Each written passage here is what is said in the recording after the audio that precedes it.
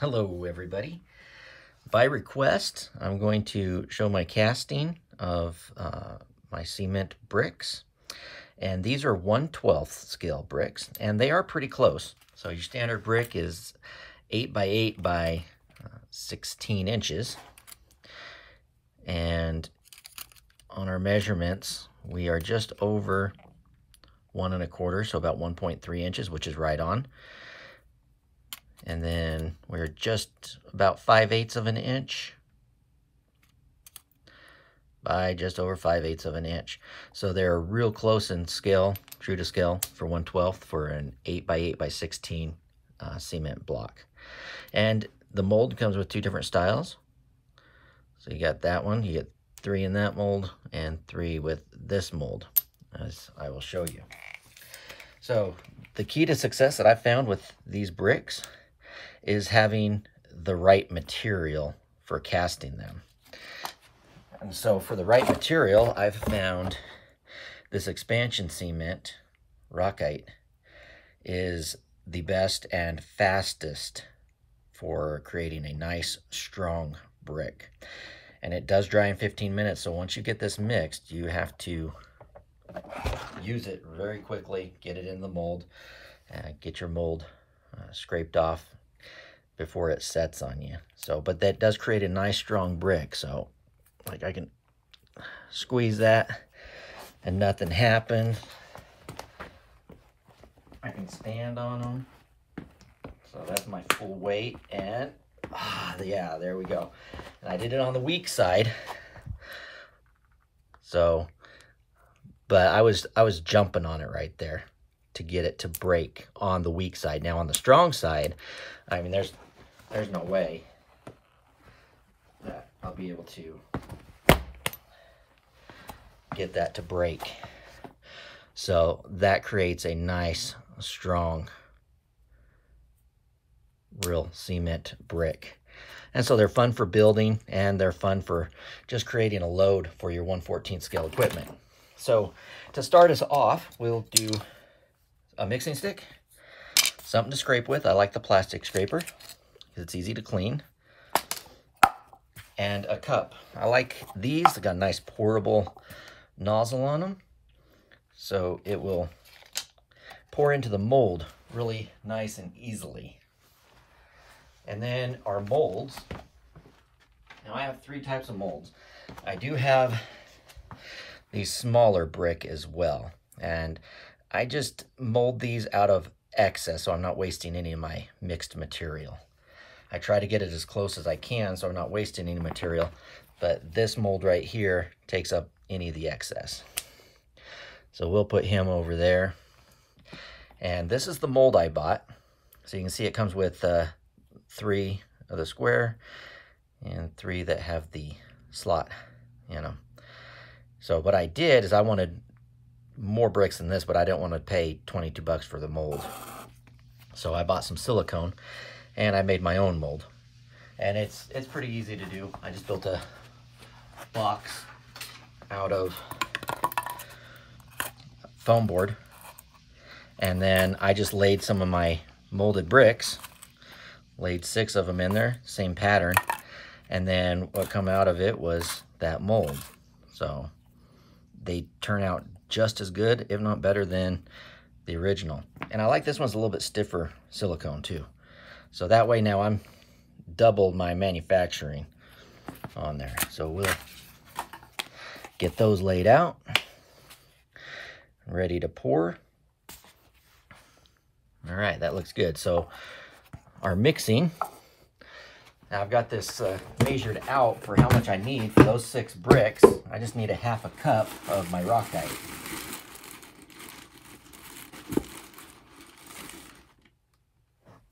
So I measure out, it's just under half a cup.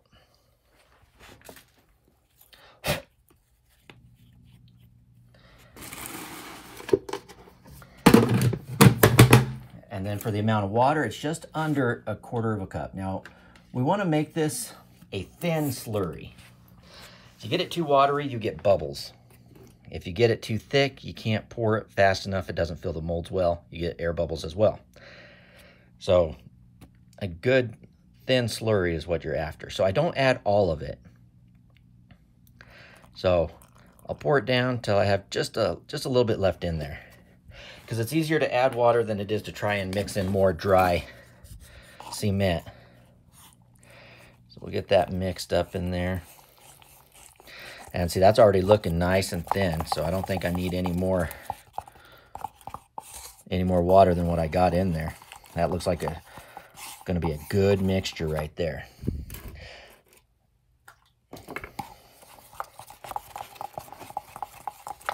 So then you just mix that up real good, get a nice stir on it. And try not to splatter all over like I just did. It happens, but it wipes up pretty good.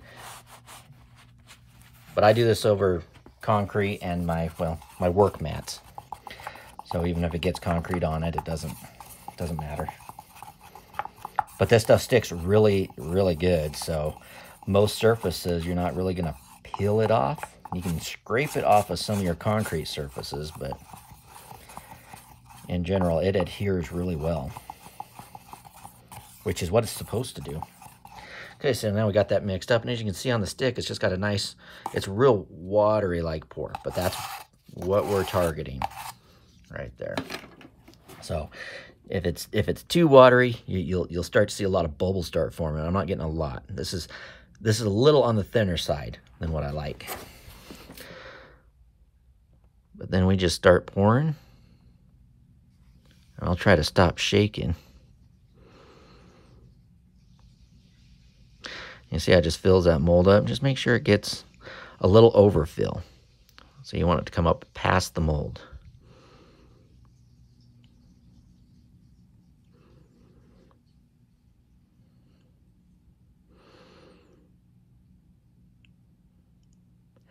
And all I do is just pour in one spot and that brings it up where it needs to be.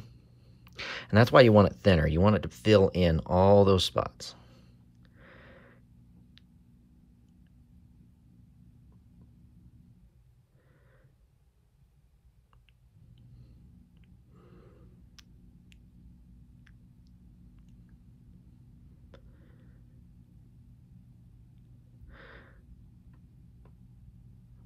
We'll be gentle on our last pour.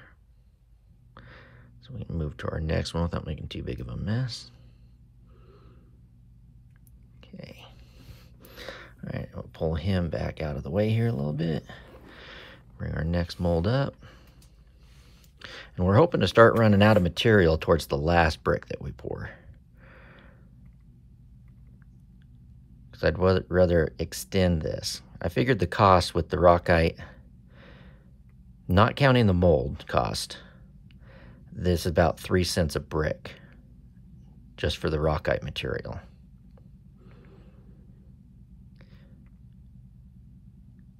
But these molds should last a long time. I've got some damage I'm starting to see on the one I purchased. No damage on the one that I made. It's holding up really well. These softer molds are starting to crack a little bit.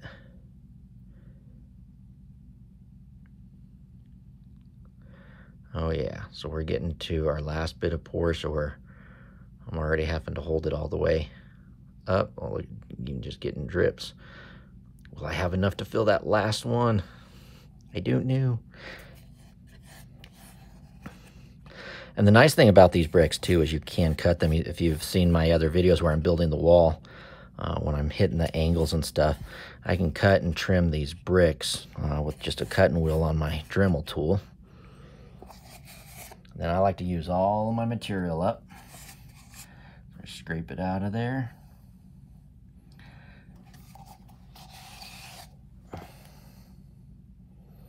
So we're, we don't have quite a full brick there, but I'm not done yet. I'm gonna find my scraper. I'm just going to pull that material.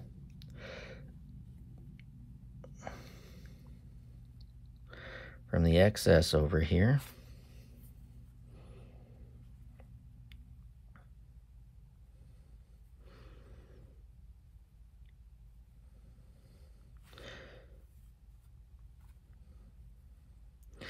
And this is how you flatten the tops of your bricks. Now you don't want to get too carried away because you don't want them indented because that'll cause problems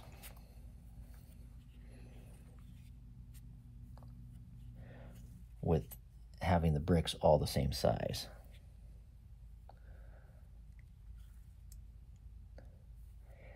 And I love when I get this close on the material. Because even if I if I have excess, usually I'm only making up to maybe three little bricks.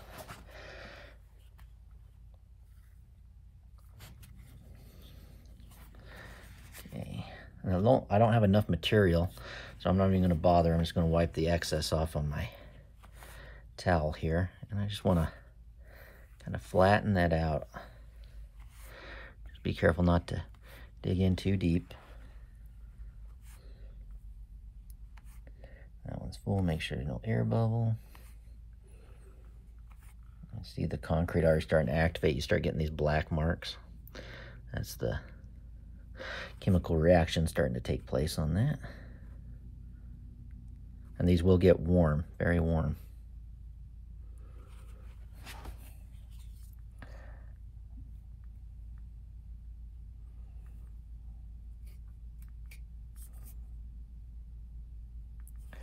And if you see areas where it's real thick, you just want to clean some of the thicker material off because it being real watery, it, it's going to dry and we're going to be able to just kind of scrape that or rub that material off of the mold.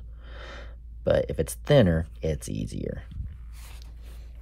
Okay, so those look all just about right. I like the way that looks. So we're going to go with that. All right, and I'm just gonna let this run and we'll time lapse it to its finish. It, I just set a timer for 30 minutes to mold my bricks. So at 30 minutes, I will come back and then we will harvest our bricks. But now what you wanna do in the meantime is go clean up all your tools. So the mixer, the scraper, and that, go rinse them out. I recommend not rinsing it in the yard. Uh, it does have a tendency to want to kill the grass. It's not too happy with it. So if you got a rock area or uh, I do mine in a cracked area in the concrete.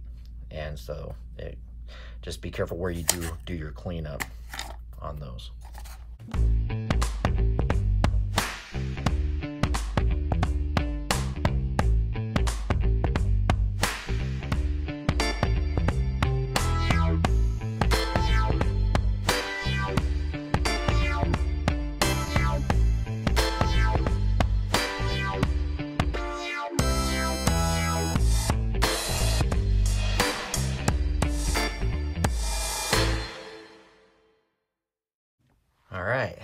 30 minutes is up. And now we get to harvest our bricks. So we just give them a quick rub down. I like to rub the centers off. And just give them a quick peel. Boom. And there's three bricks. Give these ones a quick peel. They just slide right on out of there.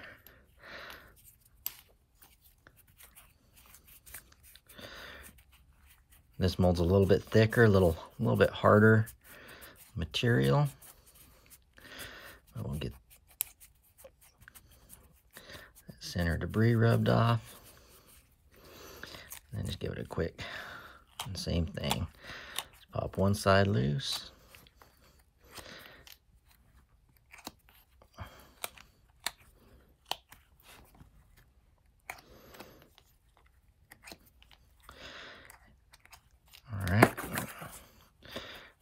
Take off any of the excess material in the, those locations. And it's ready to mold again. So that's how I make my bricks, material I use. And as you can see, they're very strong. So probably way stronger than scale-wise than what the full-scale ones would be. But uh, anyway, hope you guys enjoyed making those bricks. And if you guys want, that's a that's the one I bought. But I would recommend making your own molds to increase production if you want a lot of them. But that one will last for quite a while too. All right, well, thank you for joining again.